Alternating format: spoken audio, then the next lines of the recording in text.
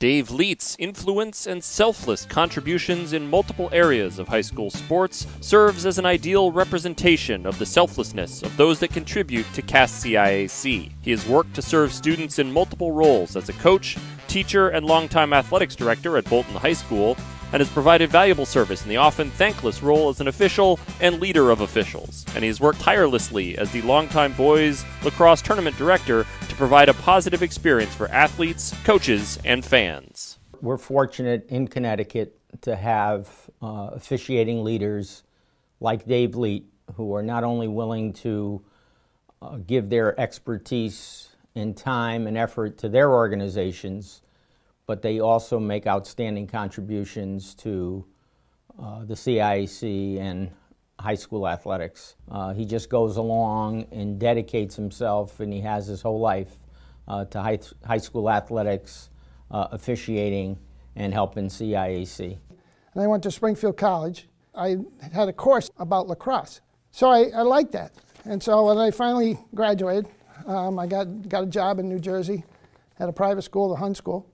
I was hired as a math teacher. Well, it's private school. In a private school, you have to coach or do something.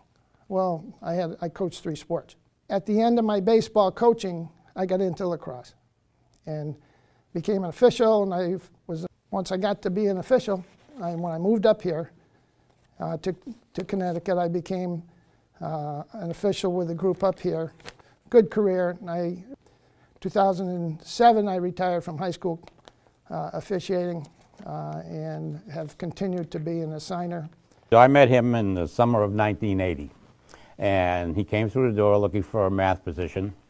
And I said, well, what else can you do? And he told me what else he could do. And I said, oh, my goodness gracious.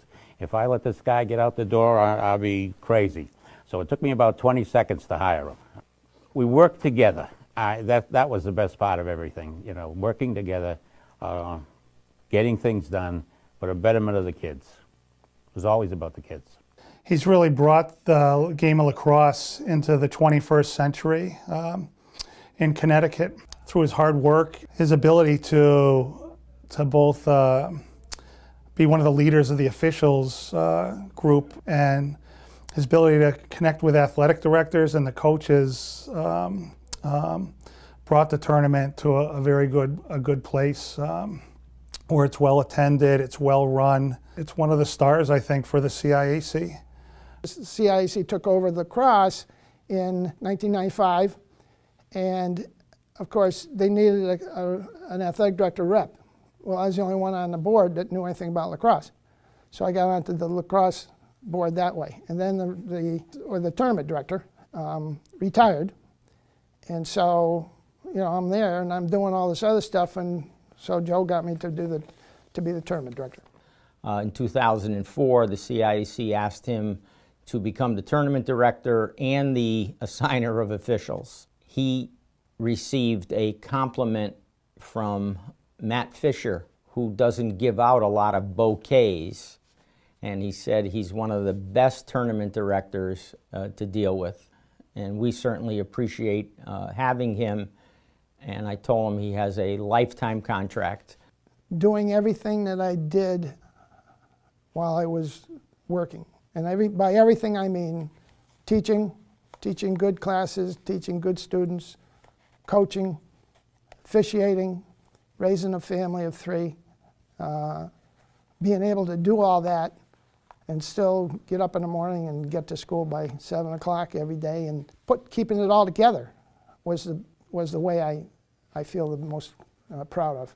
I saw the hard work. I saw uh, treating every game as it is the most important game in those kids' lives that day and to give your best uh, and to do your best. And a touchstone that I could ask questions of and just um, help me uh, when there were bumps in the road as an official.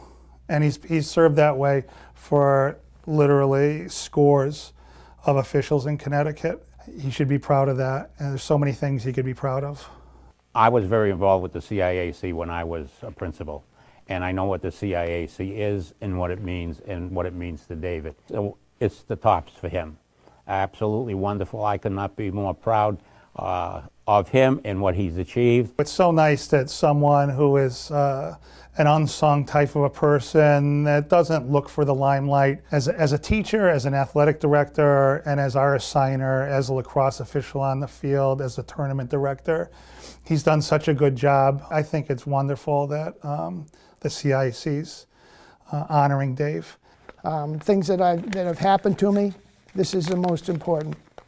Um, it's, you know, by far, I mean, why wouldn't I have this as my best or my most important honor of all the things coming from the state of Connecticut?